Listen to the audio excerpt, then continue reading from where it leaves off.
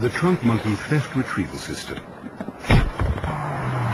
Because sometimes getting your car back is simply not enough. Another revolutionary idea.